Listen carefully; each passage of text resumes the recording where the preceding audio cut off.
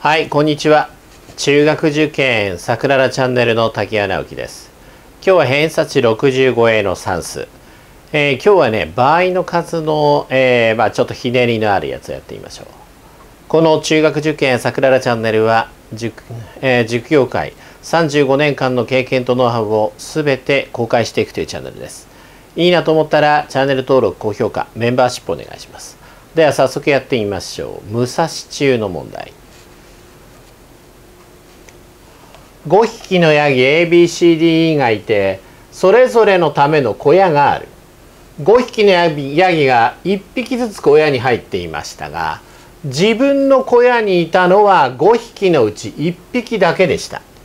このような小屋への入り方は全部で四角通りあります。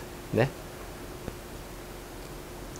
さあ5匹のヤギ ABCDE がいてそれぞれのための小屋があるんです。だから本来は A のヤギは A の小屋に B のヤギは B の小屋に C のヤギは CD の D ヤギは DE のヤギは E との小屋にいれば、え入るんですけれども。ある時5匹のヤギが1匹ずつ小屋に入っており自分の小屋にいたのは5匹のうち1匹だけ。1匹だけ自分の小屋にいたと。だそういうのは何通りあるかっていうことですよね。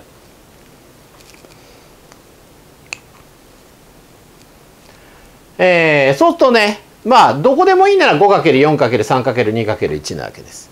でもこの場合どれか1匹だけ自分の部屋にいてあとはバラバラっていうことですからね、えー、まずねこれね例えば A だけが A だけが A の小屋にいたとして残りの BCDE がバラバラっていうふうに考えるとねこれまず全部出してみるわけです。ね、で全部出せばこれねあのもうあとは5パターンみんな一緒ですよこれ。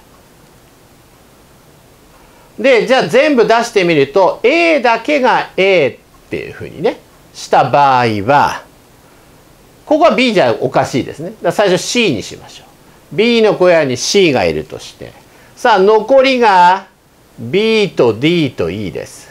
ね、例えばここが B とした時にこれはもう D は D に入れませんからここで ED って人確定しますねこれね。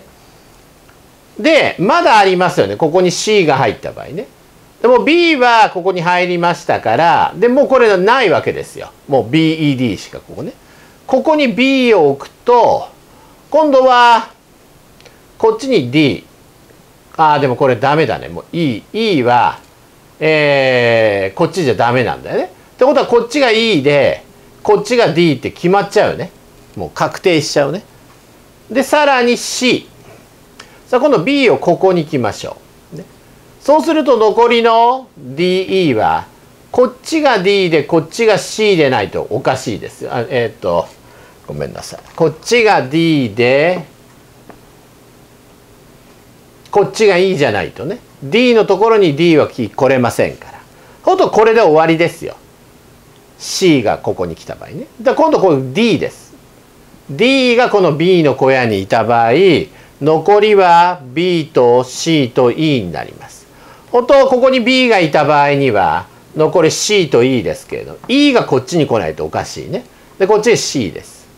でまた D B を真ん中に置きます。ただ残りの E と C こっちが C おかしいからこれで E と確定します。EC D さあ今度ここ B ただえー、っと C がこっちだとおかしいんだね。CE ここでも3通りですよ。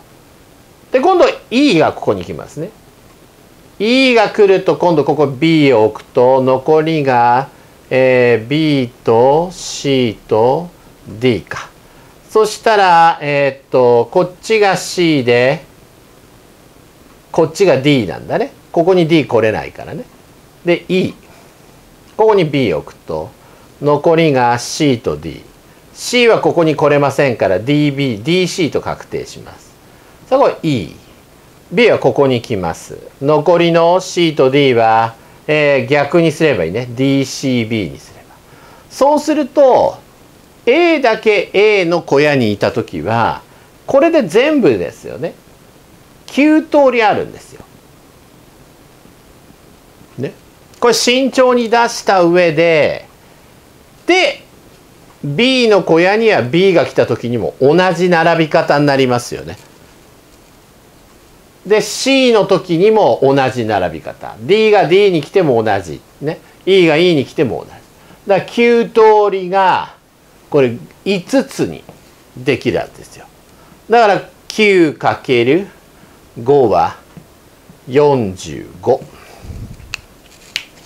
答え45通りというふうにやるわけですね。問題4でここを全部出し切るってことね。で333って分かれて9通りかなって分かるとまあ 9×5 って出るね。いいなと思ったらチャンネル登録高評価メンバーシップお願いします。では今日はここまでにしましょう。